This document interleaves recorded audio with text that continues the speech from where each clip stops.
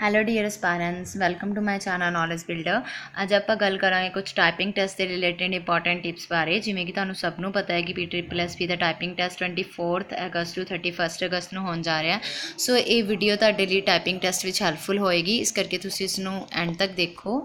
so let us start so before I will discuss the tips ਇਸ ਤੋਂ ਪਹਿਲਾਂ ਕਿ ਮੈਂ ਤੁਹਾਡੇ ਨਾਲ ਕੁਝ ਟਿਪਸ ਡਿਸਕਸ ਕਰਾਂ ਮੈਂ ਤੁਹਾਨੂੰ ਇਹ ਸੁਜੈਸਟ ਕਰਨਾ ਚਾਹਾਂਗੀ ਕਿ ਜਿਸ ਦਿਨ ਵੀ ਤੁਹਾਡਾ ਐਗਜ਼ਾਮ ਹੈ ਤੁਸੀਂ ਉਸ ਦਿਨ ਪ੍ਰੋਪਰ ਡਾਈਟ ਲੈ ਕੇ ਜਾਓ ਇਹ ਮੈਂ ਇਸ ਲਈ ਕਹਿ ਰਹੀ ਹਾਂ ਕਿ ਬਹੁਤ ਸਾਰੇ ਸਟੂਡੈਂਟ ਐਵੇਂ ਦੇ ਹੁੰਦੇ ਆ ਕਿ ਜਿਸ ਦਿਨ ਕੋਈ ਐਗਜ਼ਾਮ ਹੁੰਦਾ ਉਹ ਐਗਜ਼ਾਮ ਦੀ ਨਰਵਸਨੈਸ ਜਾਂ ਟੈਨਸ਼ਨ ਦੇ ਵਿੱਚ ਆਪਣੀ ਡਾਈਟ ਪ੍ਰੋਪਰ ਨਹੀਂ ਲੈਂਦੇ but you should take a proper diet ਤੁਹਾਨੂੰ ਪ੍ਰੋਪਰ ਡਾਈਟ ਲੈ ਕੇ ਜਾਣੀ ਚਾਹੀਦੀ ਹੈ ਬਿਕੋਜ਼ ਉੱਥੇ ਤੁਹਾਨੂੰ ਅਗਰ ਤੁਸੀਂ ਡਾਈਟ ਨਹੀਂ ਲੈਂਦੇ ਤਾਂ ਪ੍ਰੋਬਲਮ ਆ ਸਕਦੀ ਹੈ ਇਸ ਕਰਕੇ ਟਾਈਪਿੰਗ ਟੈਸਟ ਦੇਣ ਜਾਣ ਤੋਂ ਪਹਿਲਾਂ ਪ੍ਰੋਪਰ ਡਾਈਟ ਲਓ ਹੁਣ ਆਪਾਂ ਮੂਵ ਕਰਦੇ ਹਾਂ ਟਿਪਸ ਵੱਲ ਸੋ ਸਭ ਤੋਂ ਪਹਿਲੀ ਟਿਪ ਇਹ ਹੈ ਕਿ ਜਦੋਂ ਤੁਸੀਂ ਐਗਜ਼ਾਮ ਸੈਂਟਰ ਦੇ ਵਿੱਚ ਆਪਣੀ ਚੇਅਰ ਤੇ ਬੈਠ ਚੁੱਕੇ ਹੋ ਤਾਂ ਸਭ ਤੋਂ ਪਹਿਲਾ ਕੰਮ ਜਿਹੜਾ ਤੁਸੀਂ ਕਰਨਾ ਹੈ ਤੁਸੀਂ ਆਪਣਾ ਕੀਬੋਰਡ ਨੂੰ ਚੈੱਕ ਕਰਨਾ ਹੈ ਕਿ ਉਸ ਦੀ ਸਾਰੀ ਜਿਹੜੀ ਕੀਜ਼ ਹੈ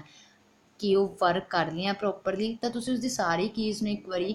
ਯੂ نو ਨੋਟਪੈਡ ਜਾਂ ਵਰਡਪੈਡ ਜਾਂ ਫਿਰ ਮਾਈਕਰੋਸਾਫਟ ਵਰਡ ਓਪਨ ਕਰਕੇ ਉਸ ਨੂੰ ਸਾਰੀ ਕੀਜ਼ ਨੂੰ ਚਲਾ ਕੇ ਦੇਖੋ ਕਿ that is working fine or not ਅਗਰ ਤੁਹਾਡੀ ਕੀਜ਼ ਫਾਈਨ ਵਰਕ ਸਹੀ ਕਰ ਰਹੀਆਂ ਤਾਂ that is well well and good ਅਗਰ ਨਹੀਂ ਕਰ ਰਹੀਆਂ ਤਾਂ ਤੁਸੀਂ ਉਸੇ ਟਾਈਮ ਐਗਜ਼ਾਮ ਜਿਹੜਾ ਤੁਹਾਡਾ ਕੰਡਕਟ ਕਰਵਾ ਰਹੇ ਆ, ਉਹਨਾਂ ਨੂੰ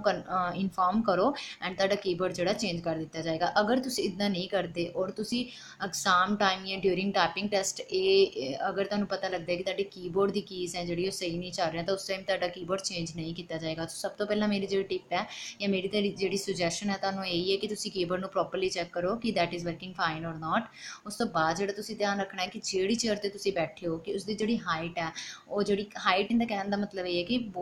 ਮੋਸਟਲੀ ਕਾਲਜ ਦੇ ਵਿੱਚ ਜਿਹੜੀ ਚੇਅਰਸ ਹੈ ਉਹ ਐਡਜਸਟੇਬਲ ਹੁੰਦੀਆਂ। ਸੋ ਐਡਜਸਟੇਬਲ ਤੁਸੀਂ ਉਸ ਨੂੰ ਆਪਣੀ ਕੰਫਰਟ ਦੇ ਅਕੋਰਡਿੰਗ ਚੇਅਰ ਨੂੰ ਐਡਜਸਟ ਕਰੋ। ਜਿੱਥੇ ਤੁਸੀਂ ਟਾਈਪਿੰਗ ਕਰਨ 'ਚ ਕੰਫਰਟੇਬਲ ਹੋ, ਤਾਂ ਜਿਹੜੀ ਵੀ ਚੇਅਰ ਹੈ ਉਸ ਨੂੰ ਆਪਣੇ ਅਕੋਰਡਿੰਗ ਐਡਜਸਟ ਕਰ ਲਓ ਪਹਿਲਾਂ ਹੀ। ਇਸ ਤੋਂ ਬਜਾਏ ਕਿ ਤੁਸੀਂ ਜਿਹੜਾ ਟਾਈਪਿੰਗ ਟੈਸਟ ਦੇ ਡਿਊਰਿੰਗ ਜਿਹੜੇ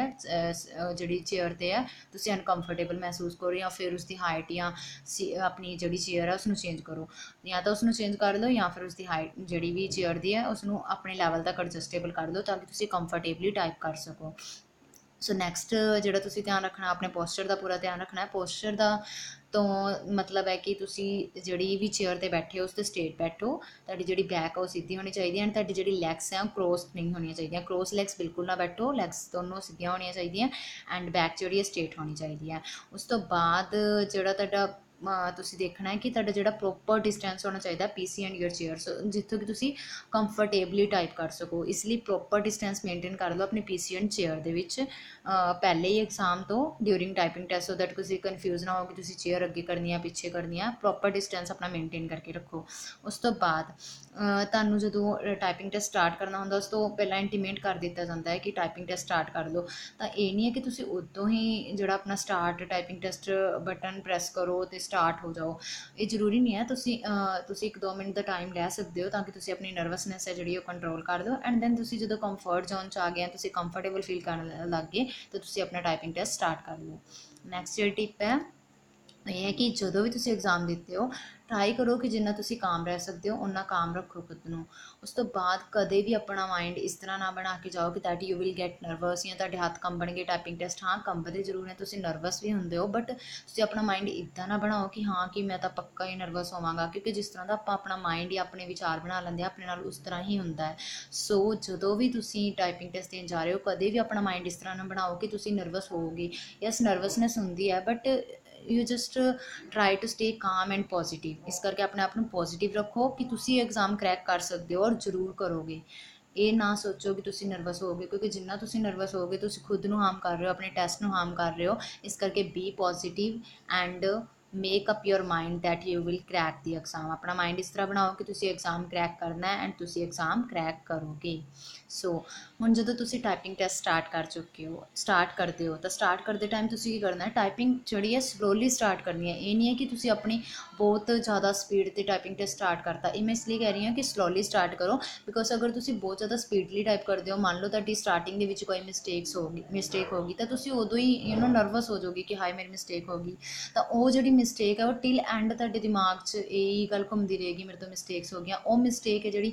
ਉਹ ਮਿਸਟੇਕ ਤੁਹਾਡੀ ਹੋਰ ਮਿਸਟੇਕਸ ਕਮਿਟ ਕਰਾਏਗੀ। ਸੋ ਬੈਟਰ ਹੈ ਕਿ ਤੁਸੀਂ ਜਿਹੜੀ ਆਪਣੀ ਟਾਈਪਿੰਗ ਹੈ, ਉਹ ਸਲੋਲੀ ਸਟਾਰਟ ਕਰੋ। ਸਲੋਲੀ ਸਟਾਰਟ ਕਰਦੇ ਕਰਦੇ ਜਦੋਂ ਤੁਸੀਂ ਆਪਣੇ ਕੰਫਰਟ ਜ਼ੋਨ 'ਚ ਆ ਗਏ, ਤਾਂ ਤੁਸੀਂ ਆਪਣੀ ਸਪੀਡ ਨੂੰ ਆਪਣੇ ਲੈਵਲ ਤੱਕ ਲਿਆ ਸਕਦੇ ਹੋ। ਐਂਡ ਇਸ ਤਰ੍ਹਾਂ ਤੁਹਾਡੀ ਐਕੂਰੇਸੀ ਵੀ ਵਧੇਗੀ and you don't commit the mistakes ਔਰ ਔਰ ਤੁਸੀਂ ਜਿਹੜੀ ਮਿਸਟੇਕਸ ਆ, ਉਹ ਵੀ ਕਮਿਟ ਨਹੀਂ ਕਰੋਗੇ। ਸੋ ਮੇਰੀ ਸੁਜੈਸ਼ਨ ਤਾਂ ਇਹ ਹੈ ਕਿ ਤੁਸੀਂ ਆਪਣੀ ਜਿਹੜੀ ਟਾਈਪਿੰਗ ਆ, ਉਹ ਸਲੋਲੀ ਸਟਾਰਟ ਕਰੋ। ਉਸ ਤੋਂ ਬਾਅਦ ਤੁਸੀਂ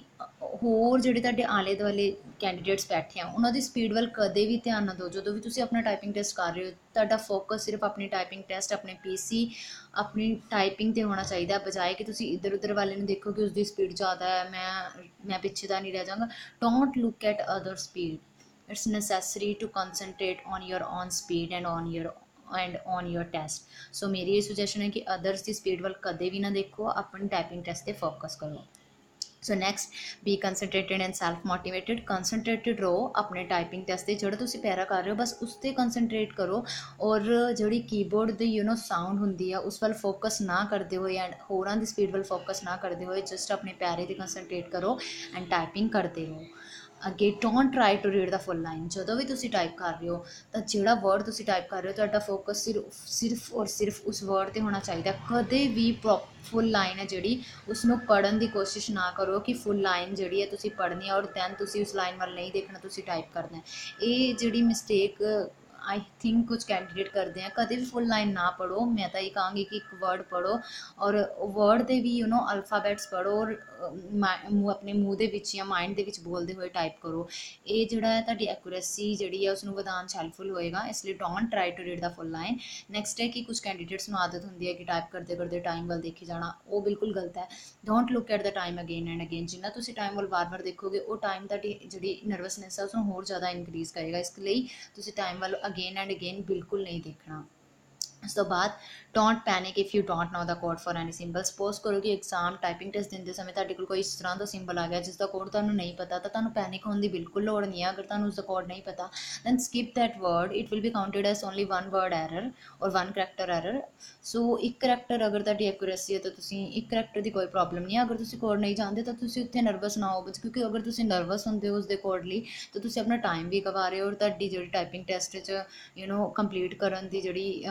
ਪੋਸਿਬਿਲਿਟੀ ਹੈ ਪ੍ਰੋਬੇਬਿਲਿਟੀ ਆ ਉਹ ਥੋੜੀ ਘਟ ਜਾਂਦੀ ਹੈ। ਇਸ ਕਰਕੇ ਕਦੇ ਵੀ ਪੈਨਿਕ ਨਾ ਹੋ। ਅਗਰ ਤੁਹਾਨੂੰ ਵਰਡ ਨਹੀਂ ਆਂਦਾ ਦੈਨ ਉਹ ਵਰਡ ਤੁਸੀਂ ਸਕਿਪ ਕਰੋ ਐਂਡ ਅੱਗੇ ਟਾਈਪ ਕਰੋ। ਬਸ ਨਰਵਸ ਨਹੀਂ ਹੋਣਾ। ਉਸ ਤੋਂ ਬਾਅਦ I will wish you a best of luck have a bright future ahead so ਇਹ ਕੁਝ ਟਿਪਸ ਸੀ ਜੋ ਤੁਹਾਡੇ ਲਈ ਹੈਲਪਫੁਲ ਹੋ ਸਕਦੀਆਂ। So must pass it and share with your friends who are going to have a test. So thank you. If you are new to my channel then subscribe like and share.